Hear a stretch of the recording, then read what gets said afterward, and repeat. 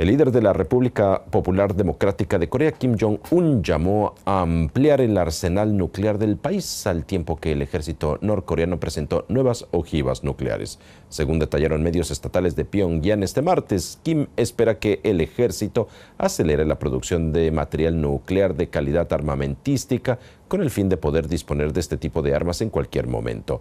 Kim inspeccionó el programa de armas nucleares del país, que incluye nuevas municiones, tácticas y para instalar ojivas en misiles balísticos. Los medios norcoreanos añadieron que también examinó planes de operaciones de contraataque.